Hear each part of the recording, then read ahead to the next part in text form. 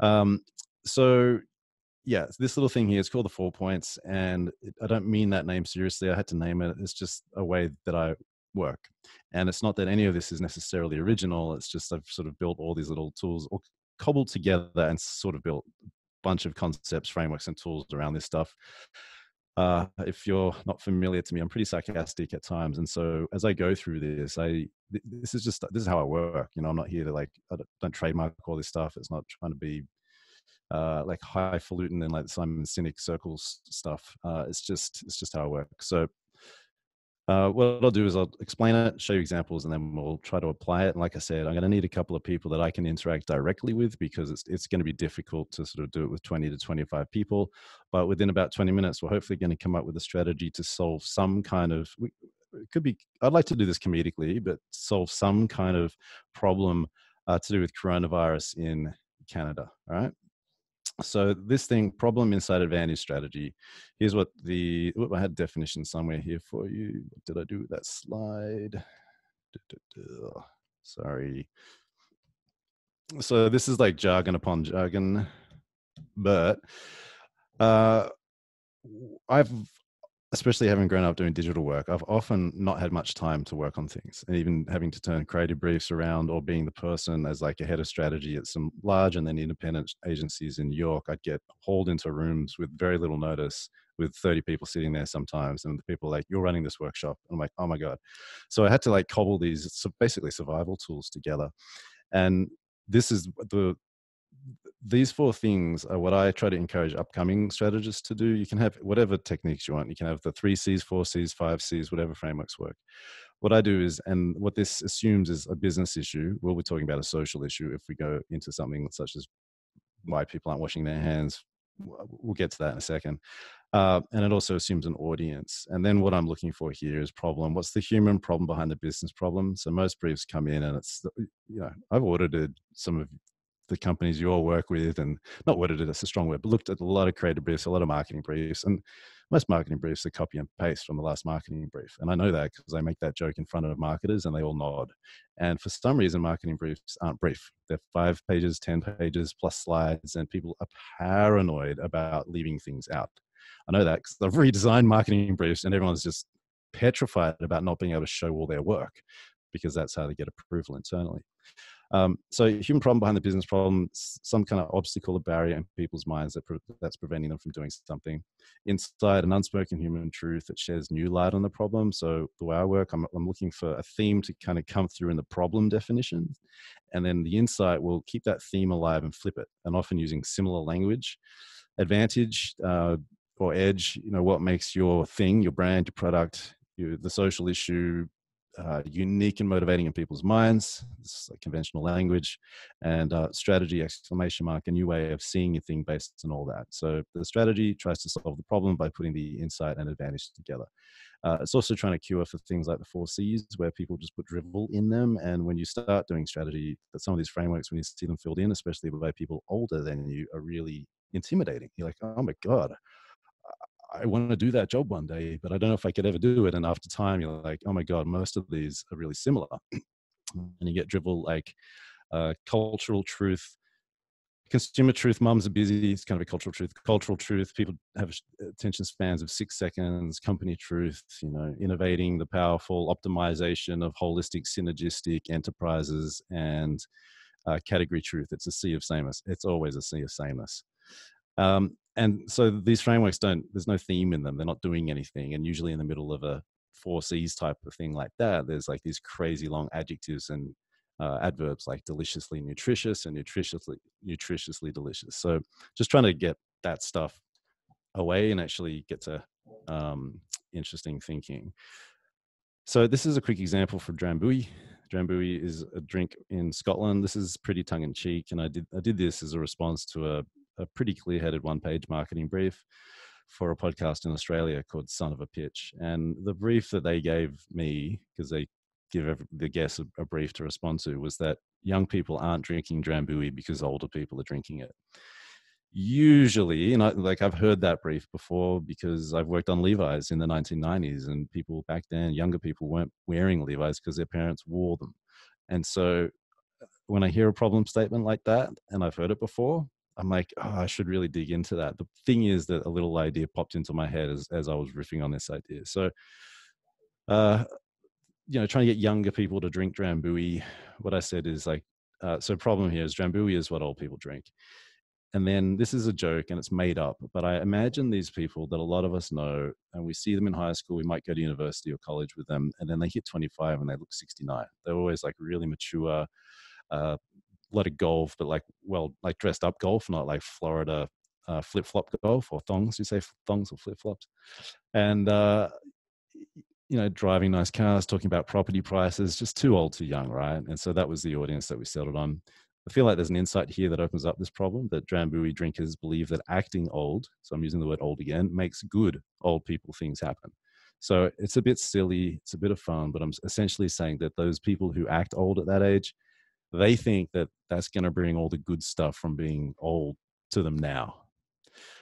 Uh, and the funny thing is, you look into the history of Drambuie, and it was the recipe came from this guy who was like 26, leading armies in Scotland, and he fled to the Mackinnon clan, and they called him the Young Pretender, and so on and so forth. But I loved it because within a few seconds, I was like, oh, I can actually make an argument for this. Drambuie, um, I've got your faces all over my slides here, so I'm not sure what I, I can't see half the words. But uh, what is it? Drambuie has um, been young since has been old since it was born or since it was young, right? And then a strategy statement. And I like a strategy statement to come before a key message or a single minded proposition.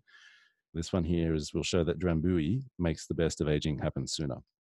And that, that sentence is an idea. Most of these sentences house ideas because ideas bring two things or more together that don't usually belong together. Drambuie best of aging happen happening or happening yeah best of aging happening sooner those two things put them together that's an, that's an idea it's not a campaign idea it's not a platform it's not a social media idea but that as a sentence it has the mechanics of an idea um, I'll show you a quick, a quick, one and then we'll get into it. Uh, I was kicking some stuff around for someone with a friend in Australia that I used to work with who's pitching something to the government this week. And I know there's a stereotype in here, but basically, what he's got, he's creating this digital service slash product. And the problem that they, want to solve is like Australians aren't taking uh, coronavirus seriously. And again, you could play around with the, the problem there and go, well, why aren't they? And do the five whys and various other techniques. But I allowed that serious or seriously theme to stick because I've got strong thoughts about Australians and seriousness a little bit made up and it's a bit fun, but I, I think it is true uh, and slightly stereotypical. But the insight here is that Aussies are world champions of not taking things seriously. But we try to be world champions of the few things we do take seriously. It's a bit riddle, bit of a riddle that one, but uh, part of our culture, at least for me growing up, was like if you took something seriously, you could get targeted. So a lot of our culture is quite sarcastic, and you know we don't want people to think we we think that we're good or that we think that we're smart and so it's just this whole game uh, and yet at the same time you know not having the olympics this year will hurt australia i hardly ever hear about it in america uh, it's big in some parts but i hardly ever hear about it in australia we hear about it all the time uh, now the product doesn't have a name, it doesn't have features, but you can see the advantage there. And then this strategy sentence is like show Aussies they could become world beaters of the one thing to take seriously. It's a bit awkward, it needs work, but essentially we're saying that this product could help Australians. You know, if you're going to take, it's basically saying we know you don't take things seriously, but when you do, you're the best. Here's a little thing worth taking seriously. You're going to be the best at it. That's essentially what's going on here. Uh, there's a couple of rude words on this one, and then I'll get into the exercise. This is a little bit different. I wanted to take the idea of serious and ser- seriousness and play with it again. Australian friendships play chicken with what to take seriously. So this product's actually going to help friends like stay away from each other, uh, and without kind of going through all the words there because it's a bit busy. The strategy for this one is is a slightly different take on serious, and it's saying that if you know, okay, you don't have to take your friends seriously all the time, but in this situation, you might as well because you get to take the piss out of them for longer. You get to put them down and, and whatnot, which again is a big part of the, the Australian culture. So anyway, there's there's quick examples, um, and I work a lot like that on uh, pieces of paper. And I, when I was in agencies, I would share them with people before a creative brief even happened. I, I found when I managed a lot of younger strategists, people rushed into the creative brief, and I'm like, just tell me, I don't want I don't want when I see you standing there, red eyed with a creative brief, you're not looking to actually interact. You just want validation. So I was like, show me the drawings, write those stories. All right. So that's the rubric we're going to play with. Do I have a volunteer or two who can help me? Come on now, guys. Do not be shy. We've got one volunteer, so um, Saad is going to volunteer. S- say hello, Saad. Introduce yourself.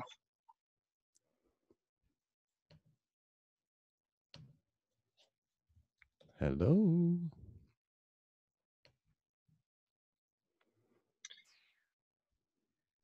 And we have Sharon as well. Sharon, while we wait on Saad, please um, please introduce yourself to everybody. Um, I think I was on mute. I was on mute introducing myself to myself. Uh, um, I'm Saad. I work at PhD uh, on uh, strategy type stuff. Lovely stuff. Awesome. Such a vague strategy type stuff, but that's totally fine. Yeah, that's why I'm here. Love it. All right. and then Sharon as well.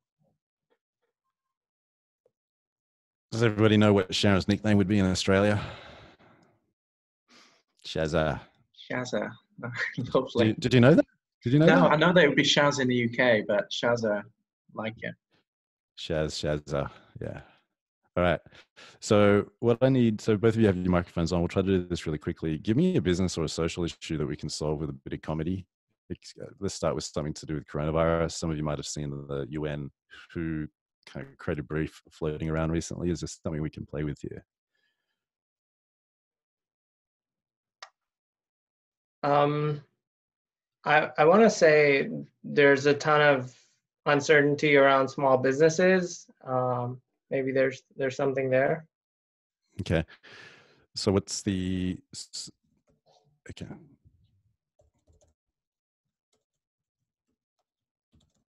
All right. Uh, who's the audience, and what do we need them to do? Is this about government supporting small businesses? Is it about people supporting small business?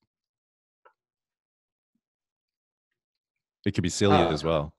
Yeah, yeah, I, I, w- I would say so. As a planner, I think one thing I've noticed is a lot of my clients um, are having a hard time planning. So as as an entrepreneur, as a small business owner, uh, I think there's some maybe some comedy in that um, uncertainty. Okay.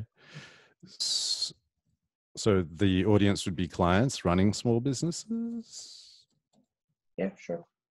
who are too uncertain to plan anything and that you're basically you're selling them the idea of planning some stuff right so you're the product or the okay got it all right so this is from the agency's perspective that the agency or someone agency like is working with people and they're too uncertain to do anything yeah Yeah. okay so then what we'll do is I'll try to list about seven of these and let's see where we go. Obviously, try to keep the language simple, no jargon. Uh, problem behind the problem. Why? Uh, why are small businesses too uncertain to plan anything?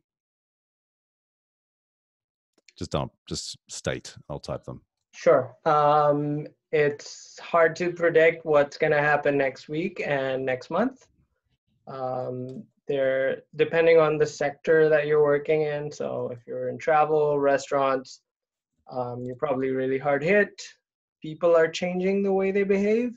Um, so we're seeing um, we're, seeing people isolate themselves. So what does that mean for things like media habits? um, and how do businesses respond to um, people not interacting in person with each other.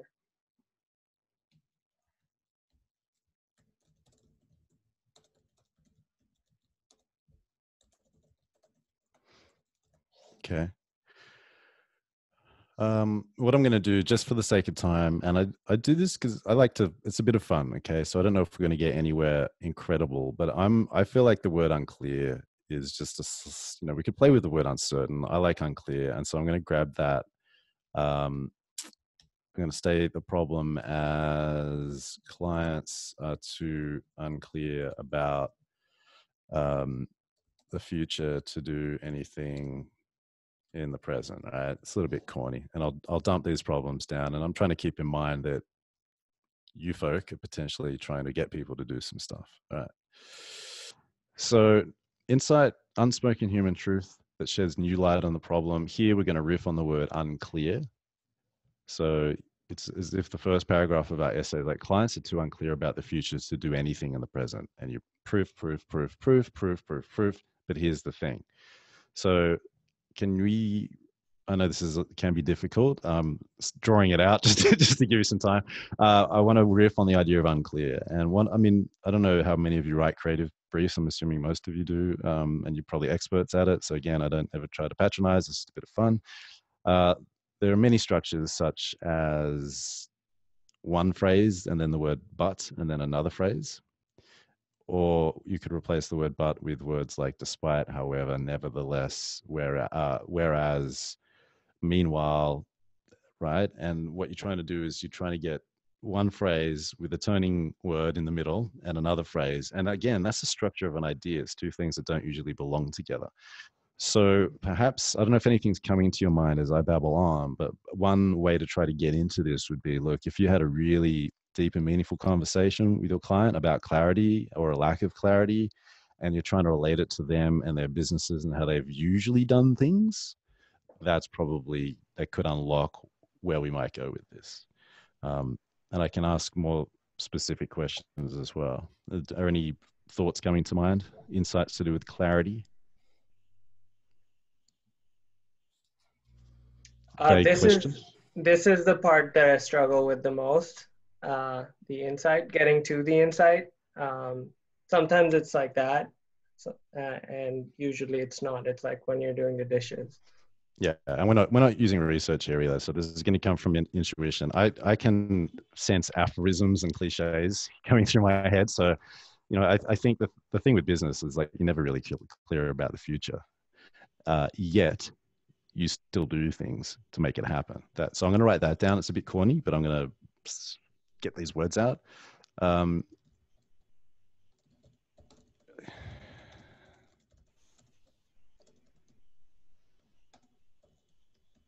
freeze them or stop them from doing like stop them from um, planning or acting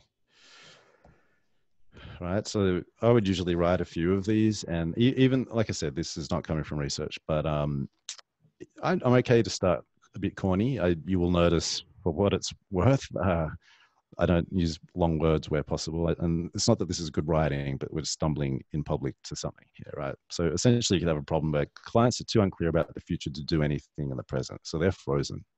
So if you're presenting to a client or you're presenting, maybe actually presenting internally about what the agency or what you need to do for the clients, but the first slide could just be the word frozen. And it could be a, uh, I know it's a little bit obvious. It's just what's coming out. Um, an iceberg because you know you can have an iceberg blocking the future. So you get to hit it, hit the metaphor a couple of times, which can actually lead to unclear communication. So clients are too unclear about the futures to do anything in the present. But what's funny about that is like you're never really clear about the future, and that hasn't frozen you before, right? So that's how those two sentences can play with each other. Um, have a think, and I'll spend another 30 seconds on the insight. Otherwise, I'm just going to move through. Mark, a quick yeah. I, I, just I get that rigor mortis comes to mind for me. So pe- people just stopping and not being able to do anything. Yeah, so. yeah, and then what what's something about that? So that's like a nice visual. So we've got frozen for the problem, or rig. Uh, I'm not going to spell it right correctly, am I? Is that it? Yeah. Uh, Mark, so then, I, I, sorry, I had one thought or question, I guess, to this. So, what role does context play when you're building at this insight? Because I'm thinking, if you're a small business owner, you know, we've gone through this incredible sort of boom period where everything's been great. So, you know, clarity or certainty isn't as important. But now, in this particular time, when you know, it's the Warren Buffett quote when the tide goes out you see who's not wearing any swim trunks kind of thing. Like mm-hmm. now is the time when that uncertainty is more important right? So is there something in that contextual dynamic of we're now in this period of tremendous uncertainty and you need it more than ever? Before you didn't need it because you know we were in this rising market and everything was booming everything was great. So so it's the yeah so, me, so i thought i would throw that throw that out. Yeah for sure. So let, let me try to get it in a short sentence. Uh, what's give it to me again so we need uncertainty more but when ever? things were great previously I, you know, a small business owner wouldn't focus on that need for the clarity and certainty because everything was rising. Now everything's falling. I have this new hypersensitivity to it, where I'm more attuned to making the wrong decisions. Whereas before any decision I made, you know, could have been successful. It's because every all boats are rising, right?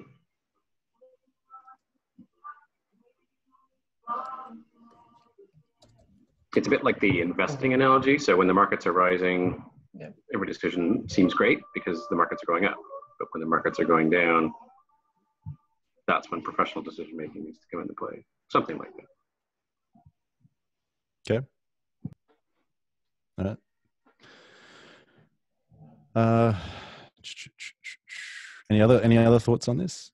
So, like the the problem statement, I'd write ten to twenty times, and this stuff would be in my head because I would have done you know 30 to 40 interviews with people at the very least, and we would have research. Uh, and then the insight I'd write multiple, multiple times, but I'd keep coming back to keywords. So I'm going to keep coming back to that word clear. And if I get bored with that, if I think it's weak, if I don't think it's there's electricity in it, I'll find a word that's that's sharper. And if I really get stuck, I go into visual metaphor. Like, you know, I know iceberg's a bit obvious, but like an iceberg, like like your your eyes are glued to an iceberg. I just make it a bit sillier and see what I would come with. Uh, see, see what would happen there. So, any other thoughts on insight from anyone? Um, I was just thinking about what, uh, to Chris's point, um, periods of contraction usually make things clearer for businesses. So businesses, when you know things are good, kind of expand and go different directions. Whereas when things contract, they tend to focus on their core business. I like that.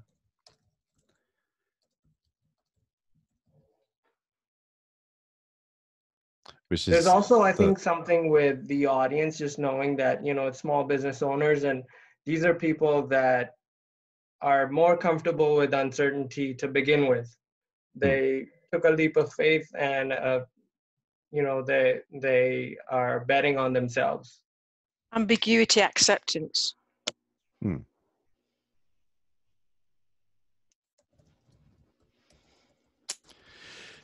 Yeah, uh, and I know this is going to be a bit convenient, and it's just in the interest of time, but uh, essentially what we're saying, okay, you know, that's why I was asking. You know, what would you say to a client if you had a couple of drinks in a in a pub and they're just like, I really don't know what to do. I just I, and the talk back to that is like, did you ever really know what to do? Like, you worked it out by doing stuff. You didn't work it out by not doing anything. Remember that person? Remember that person? We need that person now. That's essentially the the argument that's forming through some of these thoughts here, right? Um, I th- think because my head was already working on that first one, I'm going to just play with that one. Uh, they all sort of support each other. But then, what is, what's the advantage here? The thing, the weird thing with doing stuff stuff like this is like we're not talking about a product, and we, have got to work out what we are talking about. I guess what we're talking about is uh, doing some kind of planning with you, with the agency. Is that what we're talking about here? Yeah. Uh, so then, if we're talking about clarity and clarity, what's your argument about what you can? Yeah, yeah, it is what you can do, right? Yeah. What's your argument about the kind of planning that you could do for the agency using the word clarity and using short words?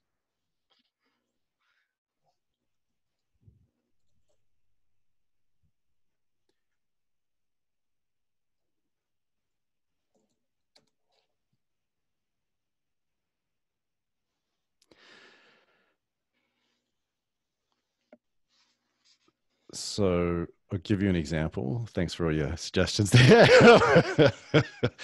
uh, it's funny. So in, in this little book thing I've got, I've, I've, sort of written about a lot of the words I've heard from strategists over the years, and clarity is one of them. Writing a clear, uh, clear creative brief or clear thinking, feeling clear.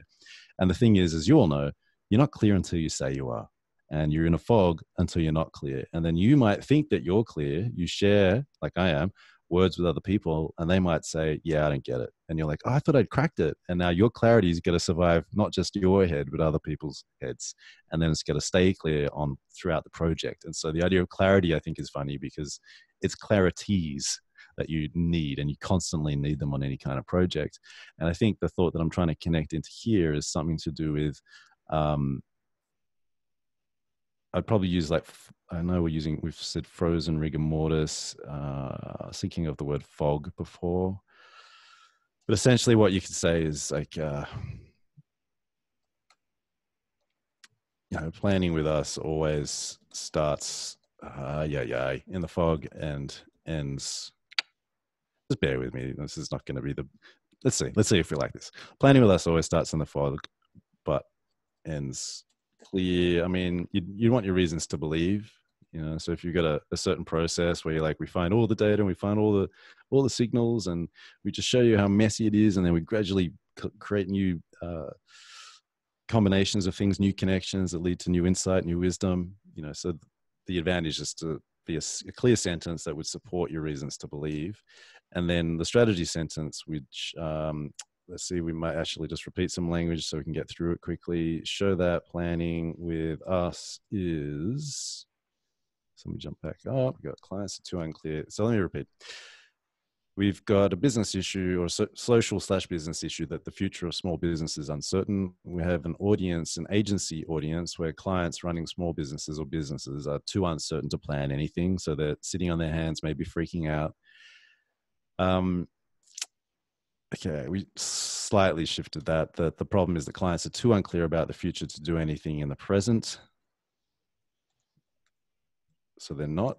Uh, and then this insight here businesses are never really clear about the future, but that doesn't usually freeze them. Doesn't you didn't stop, but it didn't stop them before.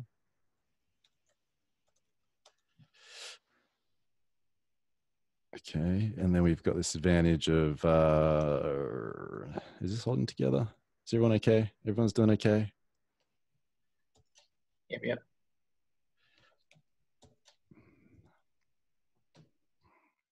Yeah, it's really, I want action and clarity to somehow come together to solve this. So, uh, strategy show that playing with us is, ah, oh, so corny. The first act to get clear or that's essentially what we're saying. It's just corny, and we would want to come up with things that are more provocative.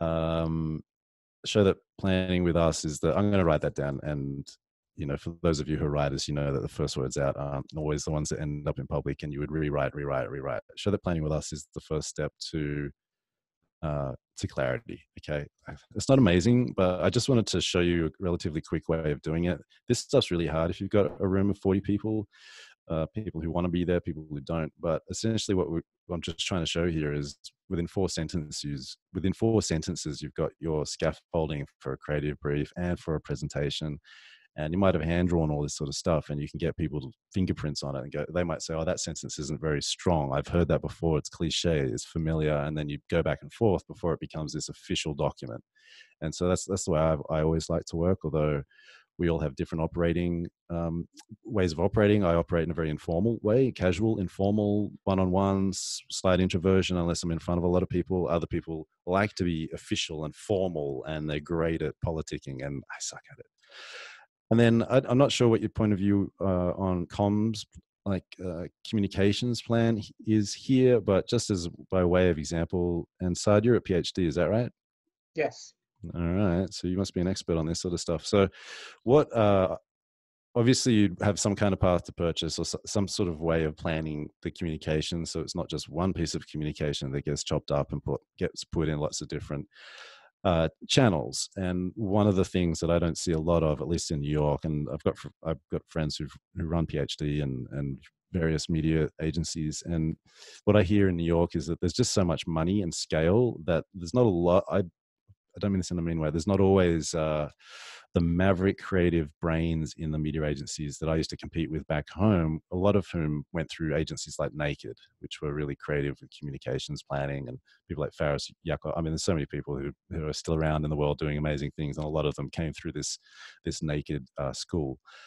Uh, and what we would do there is really just try to work out. I don't know what the campaign idea for this is, but if the idea is clarity, we would list let's do the side could you do this for me could you list um, three, three channels where clarity isn't. So, okay, hang on. Three channels where a client would seek clarity where they would seek clarity. Yeah, what, what a what a three chat.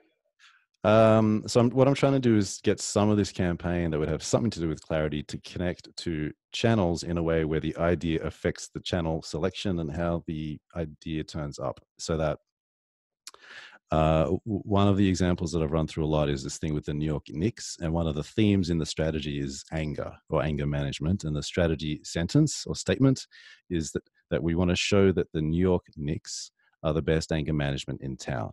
That could lead to a single-minded proposition such as the New York Knicks cure New York anger, and then part of the media plan, I would encourage it to turn up in places that are really angry. Not all of it, but not all of the media plan, but some of it.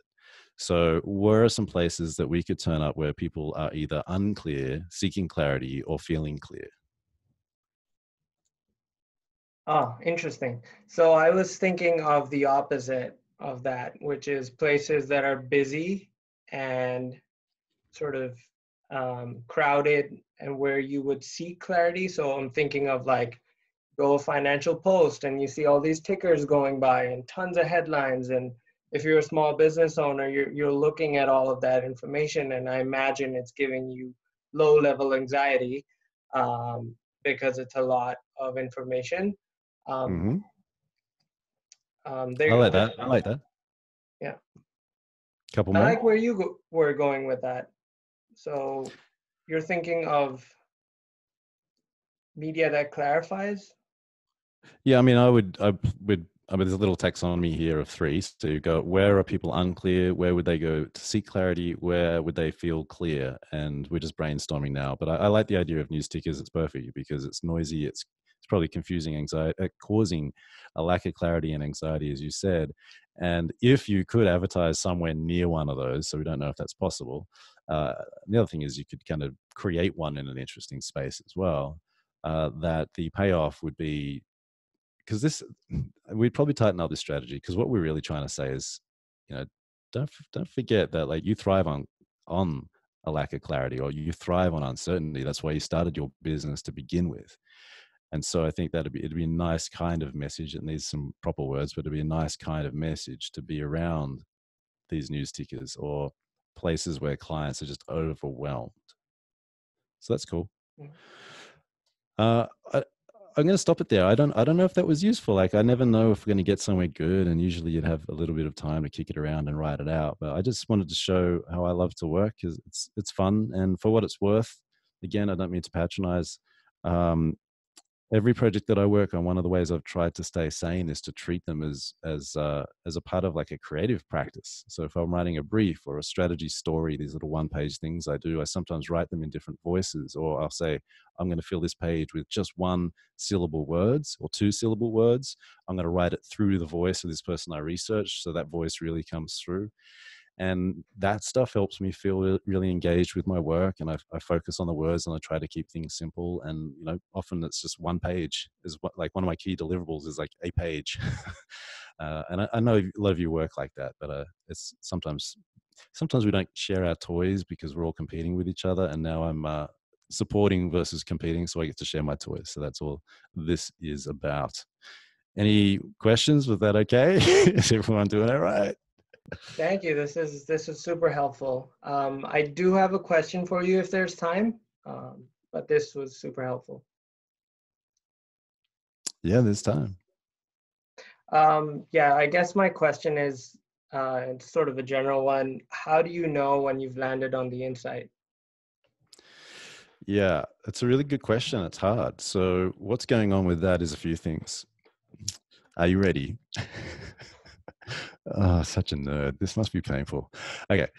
So I think it starts with the fact that to me, an insight is a kind of idea because ideas, I'm going to repeat myself, bring at least two things together in novel and useful ways. Okay, so an idea is a lateral thought. You can read Edward de Bono uh, if you're interested in exploring more about that. It's been written about for a very, very long time. And to me, understanding linear and lateral thinking as concepts are the foundations of what we do you don't get to be an accountant without knowing debit and credit. I don't think we should be in our industry without knowing linear and lateral thinking. It's just it's it's mind blowing, and some of us learn it way late into our careers, and we're like, oh my gosh, I should have known this day one or before. So, an insight is an idea. So, to answer your question, I'm looking for mechanics. Are there two things together that don't usually exist together? One of the quotes from research that I often use is when a gentleman said to me, I don't feel accomplished enough to be bald. Okay, boldness and accomplishment. They're two things that we don't usually associate together. That's written in first person. I'm not sure if it's if it's an insight. Now, the difference between an insight and an idea is that when we hear an insight, we want to reorganize our lives. Right? We're like, oh, I really should change my behavior. So one thing, if you want to practice this stuff, is just piece of paper every now and then and write something that you've learned about the world or yourself that's led you to change. Write it as a sentence uh, and then potentially write it as an insight and then you can ruminate on like what why did why did i change my behavior because of that and how did it feel? So i know there's a few words there but there's essentially what i'm looking for is mechanics. Is there an idea there that i haven't heard before? That i haven't heard before is subjectivity. It's me being subjectively um, sorry it's what researchers refer to as being psychologically new so an insight could be historically new new ever or psychologically new new to you and so you could go to stand up comedy and you could see with a friend, see a comedian, and you might find a joke hilarious. It's psychologically new to you, and your friend's like, I've seen that before, which means it's not psychologically new to that person and it's um, not historically new. So, mechanics, um, the feelings, and then usually when I drop in examples, and I know we don't have one like that today, but the baldness, uh, I don't feel accomplished enough to be bald. We usually um, smile or snort or giggle. And so I'm listening for those sounds. Uh, and then you've got to work out if the product's got anything to do with it and the brand's got anything to do with it and whether you can defend it. I absolutely disagree with the pressure that people are having placed on them right now to have bulletproof insights and the idea of, you know, I have silly strategy jokes that I can throw at you if you're interested. But um, one of them is, I'm going to do it, is like um, when someone asks Okay, hang on. I've got to think of it. Uh, when someone asks you, is that a data driven insight or did you make it up? The answer is yes. Most people who use that phrase don't know what they're talking about and they don't know the whole data, information, knowledge, wisdom uh, hierarchy. And that essentially, data is nothing until you make it something. And then it's not data, it's information. And then as soon as we use information, it becomes knowledge, and then more profound knowledge is wisdom. Um, so I know there's a, a, that was a very long and cumbersome answer, but mechanics and feelings just focus there and sounds, and then you got to work out whether uh, the product or brand has anything going on. Um, yeah.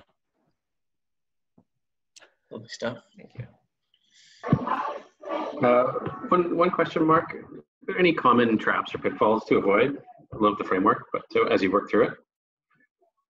Yeah, I mean, the main thing is whatever works. So the, the main trap would be the two main traps with all the frameworks are that you fetishize them and they become dogmatic and, and holy. I think that's really dangerous. They're just tools. Uh, and then for me, it's usually to do with language and slipping in large words. You know, I've seen people do them and I sometimes have them sent back and it's, it's this really large language and it's not pushing through the brief and trying to get to you know, the more I've done this, I didn't study philosophy, but the more I've done this, it's like strategy and philosophy are kind of the same. Like, what's the thing in the thing there? And is there something that's that I haven't heard before? And you start to, uh, there's a book about, oh my gosh, what's it called? About talent. And what the, it talks about, like the people who are the be- are really good at what they do, they have the, a really simple rubric they just know how to apply it in a savage way because of their experience and their skills. So for a world-class designer, the word simple or minimal, it means something extremely specific that it wouldn't mean when we're 22, 23, just starting out, for example. So yeah, the, the, the traps are taking all this stuff too seriously and, and not seeing strategy work as creative work and then using words that are expensive and cumbersome. Thanks for the Thank question. You. Great question, Chris. Any other questions, gang? Any other thoughts or questions while we have Mr. Pollard with us? Hey, Mark. Uh, question about um, about the framework and how you use it. I know I know it's one of your go-tos, and thanks so much for. It was really cool to see the process of you kind of going going through it with us. Wondering about um, can you do you find that you use that framework for kind of big projects and small projects? Like yeah. I'm just trying to figure out how malleable it is because it feels like you could apply that to something small like a campaign, but then also something bigger like a brand positioning. Yeah, I, I would apply it to most things. I would do it before a digital, social, or content uh, strategy. I might do it before something to do with product or UX, although I do that work less uh, these days. Uh, I think I think where it, it, needs a little bit of thinking through, and maybe this is a, a trap, is uh, if you're creating a brand from scratch. Sometimes you know I've got a discussion guide that I, I'll post at some point on the internet, but maybe I wouldn't go through this. I might spend more. If if the founder's trying to, especially create a business as an act of self-expression, I want to get into their heads more. It'll be like a three-hour uh, three-hour interview, for example, and some of this thinking will apply, but often I found the problem statement not the most useful if they're just starting out. You know, it's it. I think it the problem like identifying a problem starts to become slightly more relevant to a campaign that you would do, but you know, I think it's it's all it's all valid. Thanks. Lovely stuff. Good question, Colin. Any more questions for? Um, yeah, I had a question. Um, what do you do kind of when the brand's advantage doesn't necessarily solve the the problem? Uh, do you have an example? Like for example if the problem is that people are too price sensitive and they don't want to spend too much money but the brand's advantage is that they have really high quality hearing or something. Yeah so i would the that problem language anything anything that sounds marketing like i would get through and I, i'd push us through it. So things like language from the path to purchase awareness consideration intent price and value which i know aren't on the path to purchase. But i, I want to get into their heads. So if they're saying uh, i'm price sensitive it's seven o'clock there's all this noise outside it must be that cheering that people are doing. Um, if they're saying they're price sensitive i want to talk to them like why? Why do you think it's it's not good value? And i want to get more more what i would call like street language from it and then try to work out how to connect what the product's about. I wouldn't use words like quality. I wouldn't use words like value. There's a whole, you know, mini dictionary of language that's in all the marketing presentations: convenience, confidence, joy, empowerment, blah blah blah blah blah, durability, p- performance, longevity. You know, it's always like illity and ality and all those kinds of words. So I'm just trying to get through that, and I I energize the problem so it might feel and sound like a criticism, but in it it will captivate people and that's how our brains work. We're wired for the problem. So yeah with that particular example i'm going into a sharper definition of the problem. If you're in a conservative environment or people don't like the word problem that's a problem but also you've got to be careful with that stuff because these are just your thinking tools. You don't have to share everything just as a you know as a reason to fight people. Mm-hmm. Could, it be in that case, though, you're just talking to the wrong people, that maybe you need to redefine your audience or, or find a different audience? Like if your brand proposition doesn't line up with the, the human problem behind the business problem, maybe you're talking to the wrong humans. You need to redefine your target. Yeah, I, I, you know, when I've done these things in public with people, often we can't be specific because we haven't specified a business issue or an audience. And so I get more specific and sometimes I'll get silly. Uh, so that Drambuie example is silly, but I think there's an interesting truth in there. And I've got a creative, there's a creative team at TBWA in New York developing some work for it. And I, I think it could be really interesting and, and good, but I overly defined in a silly way who that audience was so I could get into more of the Wild West of, of thoughts. But if we're playing from that really obvious uh, playbook with that really common marketing jargon. Ugh. I mean, at the very least, someone could jump into it. If you can't pick up the phone, if you can't go talk to people, you know that you can obviously, and I know you do this, jump onto Reddit and look for something that's like a really energetic quote that you could at least play with to get you to a new space. Um, yeah, it's, a problem. Like we find clients often will want to talk to everybody because they want to reach the broadest audience possible. Yeah. we try and get them to be a little bit more specific into yeah, who are the people that yeah, this is do, really going to appeal to, right? So do you use the because there's obviously the concept of a perceptual target. I don't do you use that one? Yeah, a version of it. Yeah. Uh, yeah, it's really hard if if if you're working if you've got clients who don't want to make any sacrifices and they don't want to be specific. It's, it's difficult because maybe they're not going to respond to brave creative ideas and brave creative thinking. They're just fro- frozen, you know.